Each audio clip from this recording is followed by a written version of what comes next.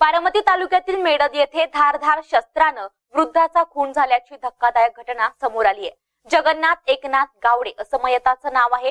घटनेनंतर आरोपी फरार झाले आहेत. मयताच्या नातेवाईकांनी मात्र आरोपींना जोपर्यंत अटक होत नाही तोपर्यंत मृतदेह ताब्यात घेणार नसल्याची भूमिका घेतली आहे.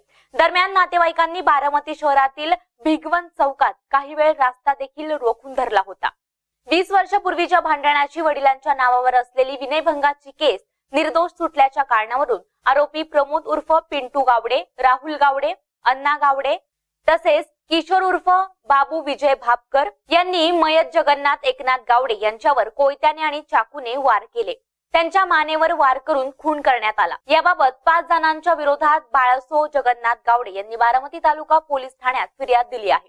त्यानुसार बारामती तालुका पोलीस ठाण्यात गुन्हा नोंदवण्यात आला आहे. सध्या पाचही आरोपी फरार आहेत.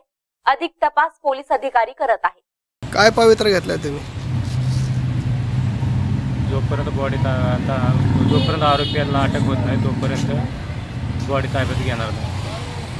बरं का कशावरून झालं होतं काय? याला अं, फार व जुना वय मनुष्य विनय भागाच्या केसेस केस दाखल केली. त्याच्यात कोर्टात निर्दोष सुटले आहेत.